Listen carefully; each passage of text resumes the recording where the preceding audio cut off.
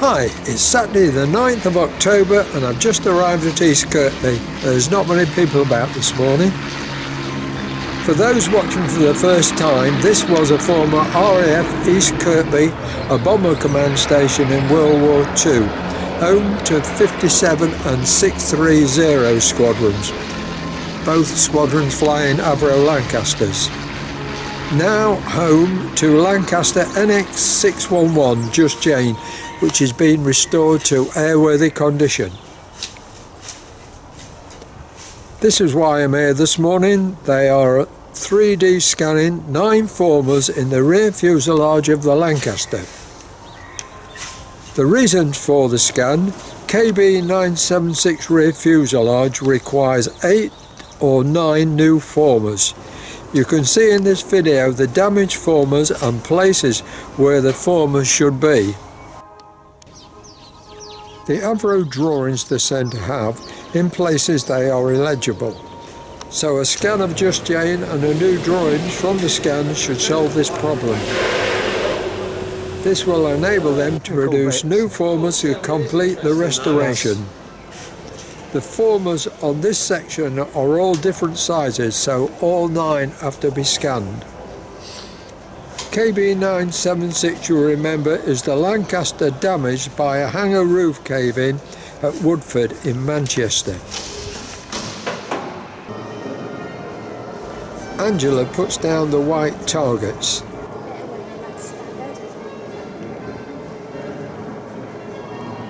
So they just have to sort of be, not uniform, they have to sort of be random.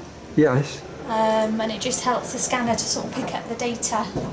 We're just putting markers down now so it helps the scanner track its positioning. Oh, I see. So it knows where it is.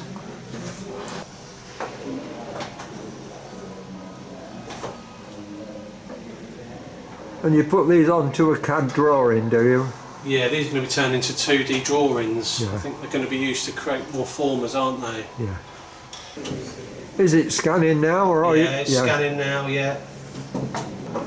On distance, how accurate is it? You don't mind me talking to you while you're working, No, it's fine, no. Yeah. This is accurate down to about 0.1 of a mil. And it looks on that picture, it's only detected the actual form uh, and not the skin. Is that right? No, it's got the skin on there, I just can't rotate it at the moment. It's got the internal skin, you know, the inside of the skin. Yeah. So how long does it take you to scan a former then, once you've got set up? Uh, well, I suppose with the markers and stuff like that, probably about an hour. So this is just the initial stage. Yeah. And do you make up the CAD drawings then for yeah, it? we do all of that, yeah. Yeah. Do you do um, 3D printing as Yeah, well with it? Yeah. Yeah.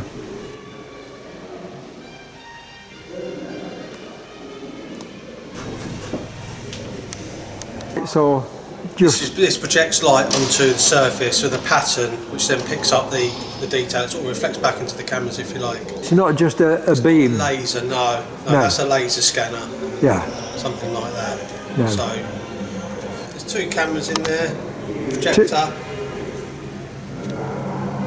And what's the top one? This is called a structured light scanner. Lovely. Okay. Thank you. The scanner Daniel is using is handheld. It has three scanners. The top scanner, the bottom right is a scanner, and the third scanner, the third scanner on the left is colour. The centre bottom is the white light pattern projector.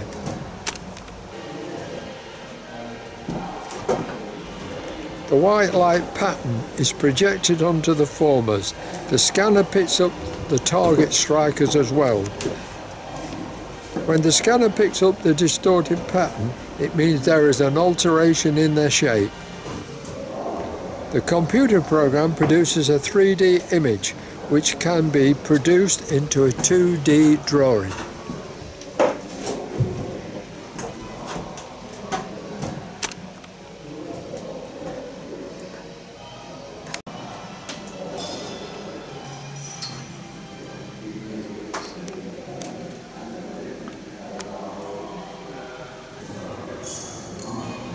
Doesn't it matter what distance you are away with the scanner? It does matter, yeah. Yeah, there's a set distance you have to be.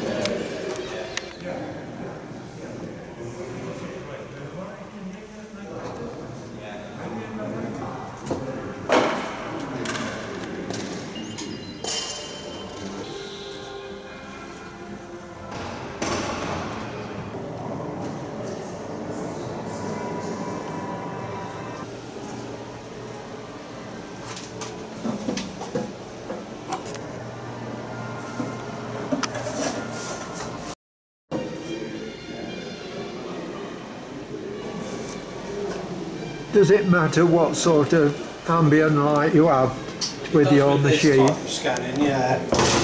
Yeah, it can't be too bright. Yeah. What is your general work then? Is it on aircraft or Um, all sorts. also? Yeah. Lots of different stuff, yeah. Vehicles, Yes. uh, museums.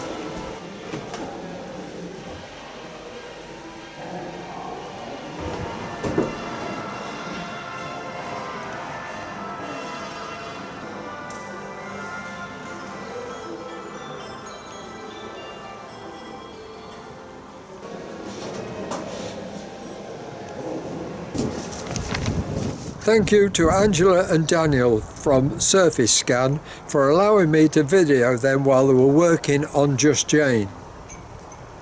In the next part, Keith starts removing the Lancaster plug rivets. The plug rivets, I believe, were unique to the Avro Lancaster, but could have been used on other Avro aircraft. They were used along the boom of the two wing spars. I will let Keith take up the story. This video was taken on the 29th of September 2021.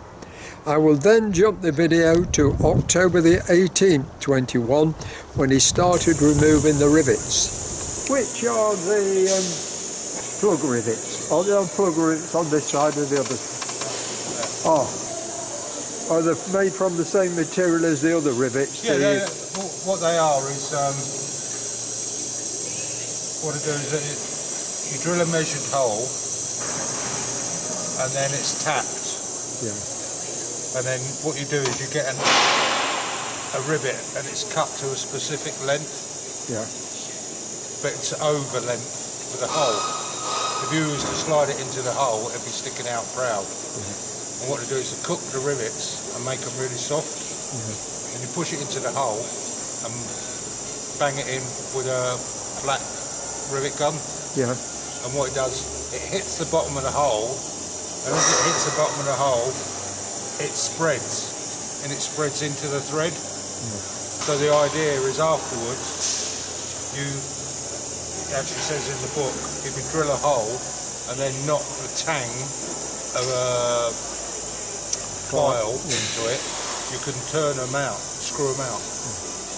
But we haven't tried it yet.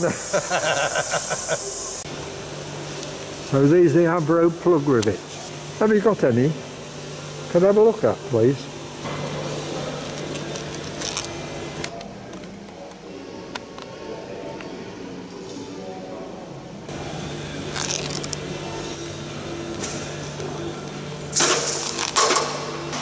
Not much sign of thread on them. When you actually look in the hole, there's not much of a thread in the hole. They're not very deep either, are they? No, you see a little bit of a thread in that one. The trouble is a lot of them are just shearing off now. Look. I suppose on these they could make them a little, uh, go up a couple of thou on the We can go up a side. Yeah. Have you been able to drill one yet and put a tang of a file in and turn it out? You, you can't use a file. They say use a file, but that was before they had easy outs Yeah. in the 40s. So Yeah. I started using easy outs, but and they started coming out all right. But Yeah. That's the, the left-handed thread thing, is it? The easy out. yeah, Yeah. yeah, we just put into a, a screw and Yeah. It tightens on and pulls it out. Yeah. yeah. uh, Used all my easy outs on. Oh. Alright, I don't know. Yeah. The trouble is, it's the rivets in some places are corroded and they're just shearing off. Yeah. See that that one there comes straight out. Yeah. it's going to be a very time consuming job when you think Oh yeah, top and bottom spars. top and bottom.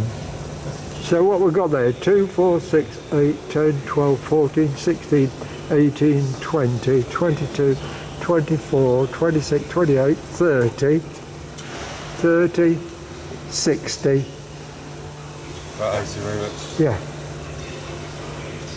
And uh, we've got one, two, that's the little panel. three, four, five, about 10 panels.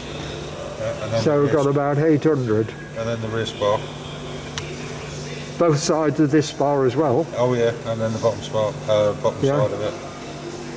So that's 800, 4H to 32, 3,200, So you've got about 4,000 plug rivets 4,000 plug rivets. in one in one wing.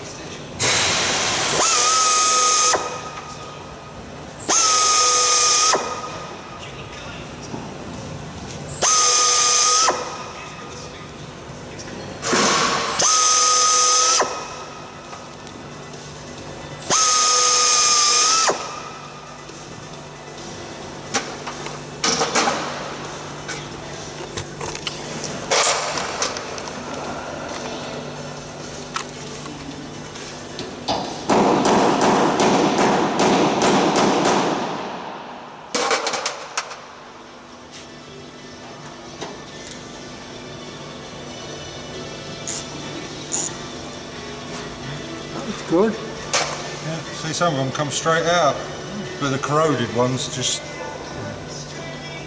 there's a bit of corrosion under the head. It just shears off.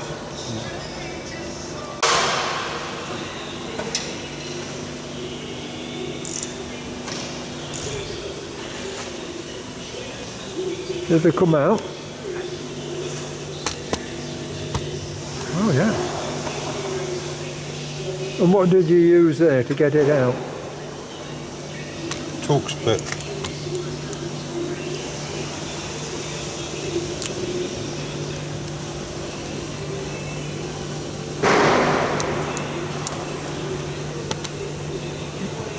Just with the splines on it. Yeah. right. Keith was using a Torx bit to remove the blind rivets. Has six splines on it. That's the way it goes, I'm afraid. So how will you get that remaining parts out of there? Just Have to drill it and retap it.